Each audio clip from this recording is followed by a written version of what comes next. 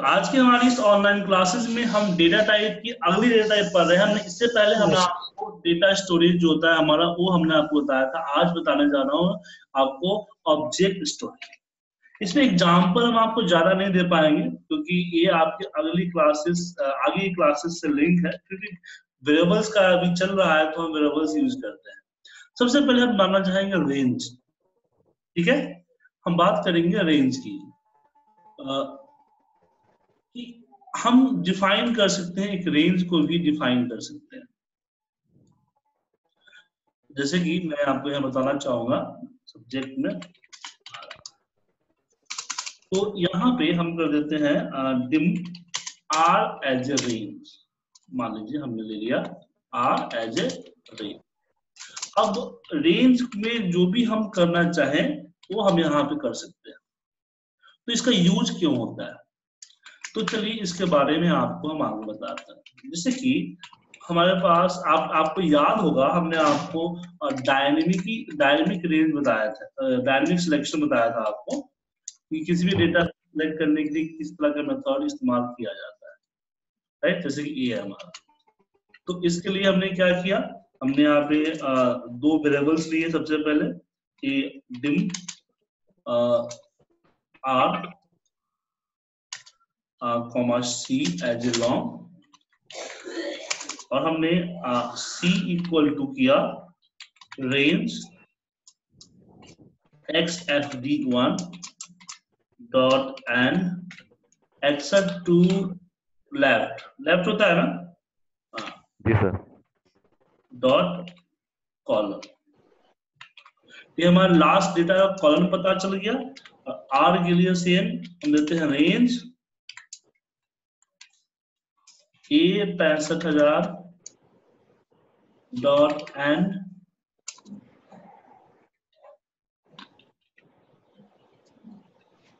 excels up dot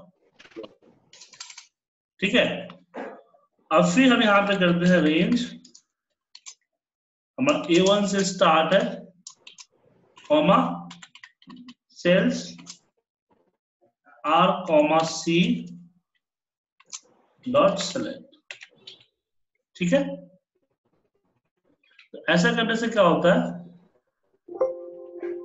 अच्छा cells होगा यहाँ पे सेल होगा। ऐसा करने से क्या होगा? कि आपका एरिया सिलेक्ट हो गया। अब मुझे इस सिलेक्शन को कई सारी जगहों पे इस्तेमाल करना होता है। तो हर जगहों पे तीन लाइन का कोड हमें लिखना ही पड़ेगा। क्या? जी। जी तो उससे अच्छा है कि हम क्या करते हैं? Dim R N as a range एक रेंज डिफाइन कर देते हैं राइट और फिर यहाँ पे करते हैं सेट देखिएगा ऑब्जेक्ट बेस्ड सेट होता है डायरेक्ट इक्वल नहीं होता है, ध्यान रखिएगा। हमने एक डिफाइन किया कि आर एन एक रेंज है, कौन सा रेंज है? तो हमने रेंज दे दिया कि ए रेंज है। अब मुझे कहीं भी कुछ करना है बस आर एन लिखना आर एन डॉट कॉपी ठीक है?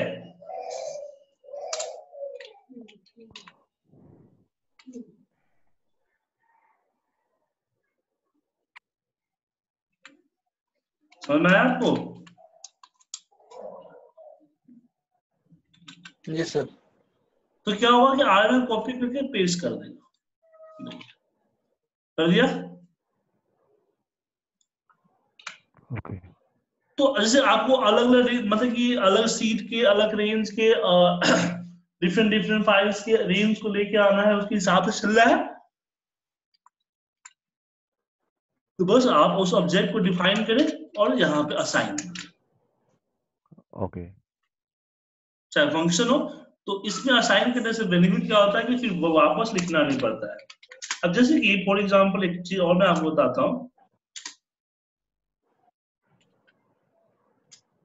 कि मुझे, मेरा जो वर्कबुक है बार बार मुझे वर्कबुक को भी करना पड़ता है। तो मैंने यहाँ पे कर दिया dim W as a workbooks और फिर set W equal to active work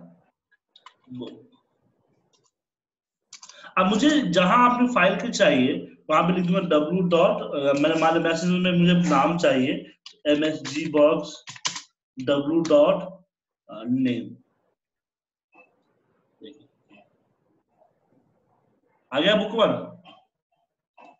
अब एक्टिव वर्कबुक या कोई पर्टिकुलर वर्कबुक में कुछ भी काम करना है तो हमें जस्ट डब्लू को लेके चलना है। ठीक है? ओके उसी तरह? हाँ बोलिए। सर ये सेट लगाना मतलब वो है क्या ज़्यादा? क्या? 180 है क्या? ये सेट यूज़ यूज़ यूज़ करना। सेट करना है क्योंकि देखिए क्या है ना सर कि डेटा स्टोर हो सकता है। कोई ऑब्जेक्ट स्टोर नहीं होता। जैसे कि आप को, कोई सामान परचेज कर सकते हैं। जैसे कि आपने गाड़ी पर एक सामान परचेज कर सकते हैं। लेकिन गाड़ी हो गई सॉरी गाड़ी ही परचेज कर सकते चलिए।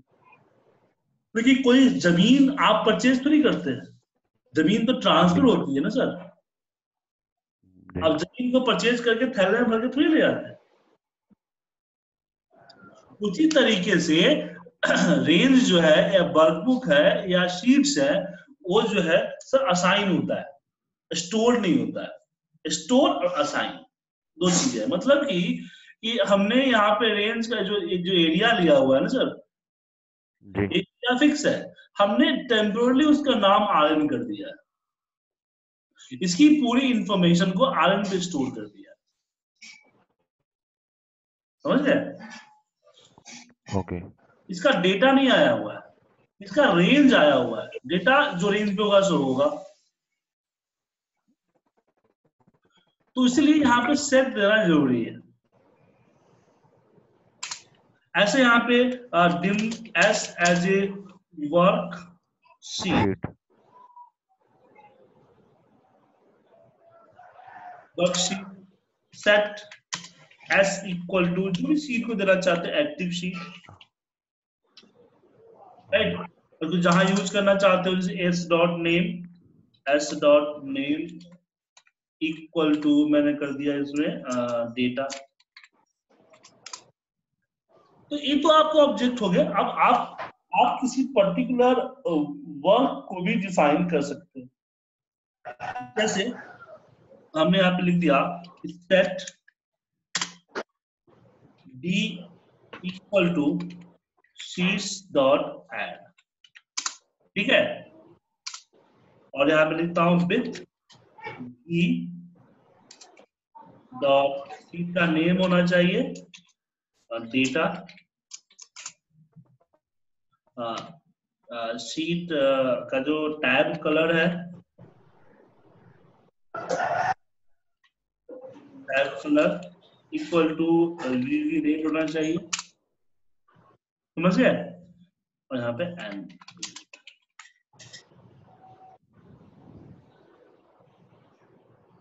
तो जैसे कि मान लीजिए कि आपको एक काम करना है। और काम जो है, आप उसके कुछ, जैसे वर्कबुक ही ऐड करनी है। जैसे मैंने यहाँ पे लिख दिया कि with W equal to workbook dot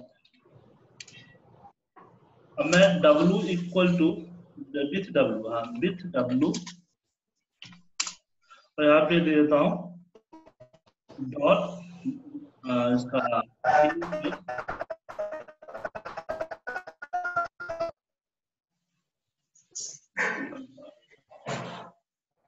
और और भी जो चीज़ें देना चाहते हो दे सकते हो। ऐसी चार्ट वगैरह ऐसी पिवट वगैरह जो आगे चल के मैं आपको बताऊँगा हम डायरेक्टली असाइन कर सकते हैं। Yes sir hello hello yes sir सुना आया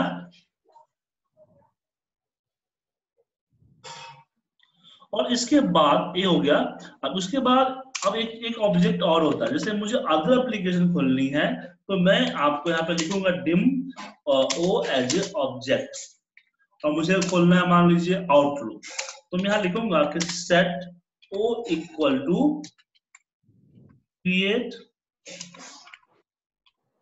object और यहाँ पे हो जाएगा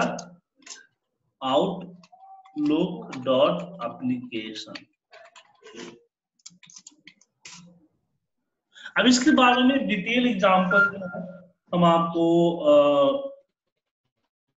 आगे क्लासेस में बताएँगे। अभी आप इसके लिए लिख लीजिए लेकिन मैंने बता? दिया अदर एप्लीकेशन को कनेक्ट करने के लिए हम लोग क्रिएट ऑब्जेक्ट का इस्तेमाल करते हैं। सर ओपन करने के लिए या सर क्रिएट के लिए? ऑब्जेक्ट को हमने एम्बेड किया एक्सेल में आउटलुक को। ओपन ही होगा ना? क्रिएट थोड़ी होगा सर जैसे हम लिखा क्रिएट ऑब्जेक्ट तो ओपन ऑब्जेक्ट होगा या मतलब होगा? ही अदर एप्लीकेशन को एक्सेल में क्रिएट कर रहा है। मतलब लिंक कर रहा है मतलब उससे तो क्रिएट होगा सर एक्सेल से ही आप मेल भेज सकते हैं। एक्सेल से ही आप किसी वर्ड फ़ाइल को एडिट कर सकते हैं। पीडीएफ फ़ाइल को एडिट एडिट कर सकते हैं वगैरह वगैरह। तो अभी जैसे यहाँ पे ये काम जब आपने लिखा है कि create object Outlook dot application. As a सिर्फ़ आउटलुक एप्लीकेशन को एक्सेल में एम्बेड क्रिएट करेगा। ये बता ना सर आपको आगे बताऊँगा इसके बारे में फ़िलहाल इसके दिमाग में कर ओके अब ये हो गई।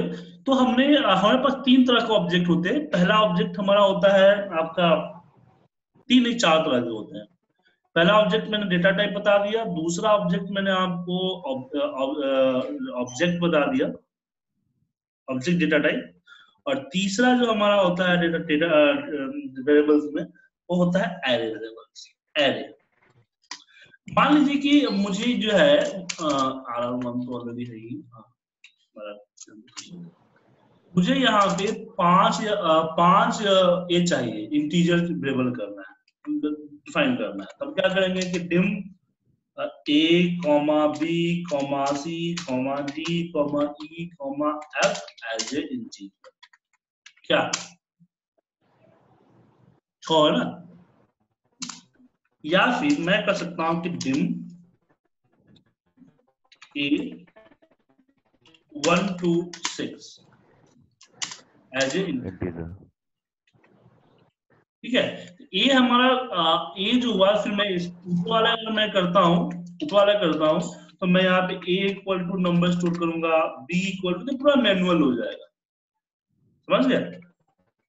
लेकिन जो एरे हमने डिफाइन किया है, उसमें हमें लिखना होगा कि A one is equal to thirty A two तो इसको हम लोग लूप वगैरह में आसानी से डाल सकते हैं। क्या सर?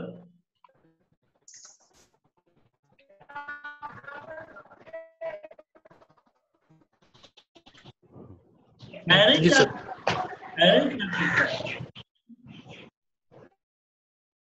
एरे क्या करता है कि एक ही एक ही मैंने वेरिएबल्स होते एक ही कास्ट के अगर मान लीजिए आपको एक ही कास्ट के कास्ट से यहाँ पे है अ, मतलब कि टाइप ऑफ़ वेरिएबल एक ही कास्ट के कई सारे वेरिएबल्स की ज़रूरत है तो वहाँ हम ए को लेते हैं। मतलब कि एरे लेते हैं। और कभी कभी क्या होता है कि पूरी की पूरी टेबल स्टोर करनी है तो उसके लिए हम यहाँ पे लेते हैं कि डिम dt मेरा मेरे पास जो है one equal to hundred row और दस कॉलन है। One equal to ten column और अगर कोई डिफाइन अगर यहाँ पे करना चाहता कर दीजिए कास्ट अदरवाइज़ वेरिएंट हो जाएगा। तो इसने क्या किया कि dt, अब यहाँ पे कैसे स्टोर होगा dt?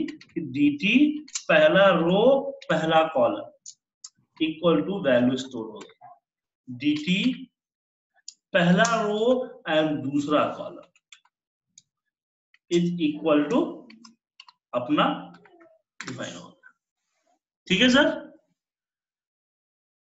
अभी सर एरे का इस्तेमाल हम आगे की क्लासेस में आपको बताएँगे। एरे कैसे डिफाइन होता है कैसे वैल्यू स्टोर होता है ये समझ में आ गया?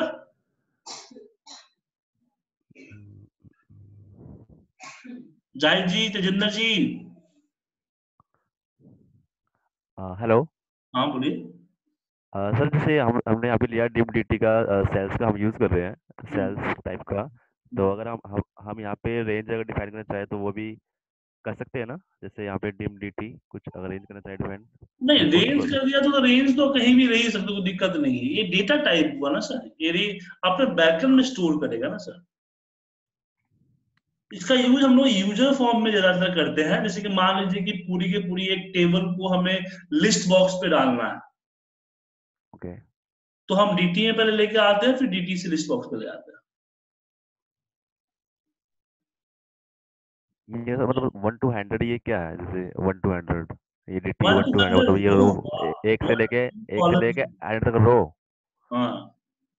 और वन टू 100 रो हंड्रेड है को 100 कॉलम ओके 10 कॉलम सॉरी ठीक है ना ओके मतलब मतलब एक फिक्स टेबल को लाने के लिए राइट हाँ। आपको बहुत सारे वेरिएबल्स डिफाइन करने की ज़रूरत नहीं पड़ेगी। और इसमें लूप में भी इसको आसानी से हम यूज़ कर लेते हैं क्योंकि अगर इस तरह का वेरिएबल डिफाइन किया तो हम लूप में नहीं इस्तेमाल कर पाएँगे ना। पर इस तरह के वेरिएबल को लूप में इस्तेमाल कर लेते कॉमन हो जाएगा वो। हाँ। इसको भी आगे हम आपको एग्ज़ाम्पल करेंगे। और लास्ट जो है वो है ग्लोबल वेरिएबल ग्लोबल वेरिएबल समझते हैं क्या? है नहीं आई थिंक नहीं समझते ये बात है। मैंने यहाँ पे तीन मैक्रो बनाया टीटी अब इसमें क्या है कि टीटी में A equal to ten hundred fifty multiply by thirty multiply multiply कर देता हूँ divide, यहाँ पे five hundred divide by twenty कर देता हूँ। राइट फिर सब और यहाँ पे टी वन है। अब यहाँ पे मैं a equal to A multiply by ninety और तीसरा सब टी टू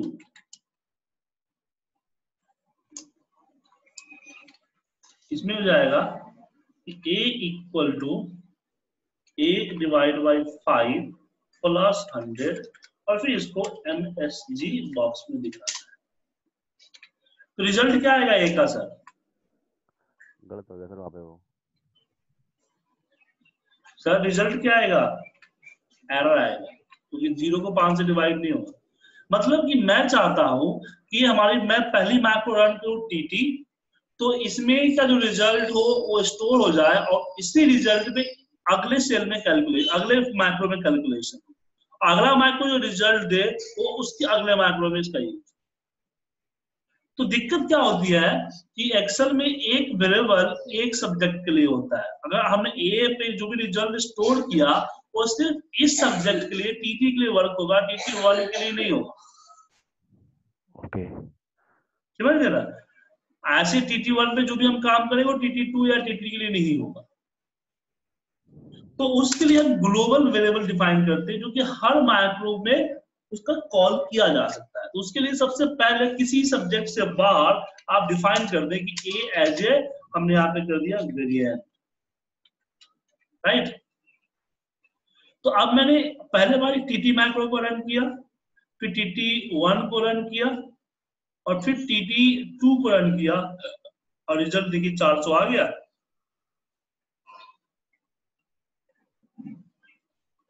समझे सर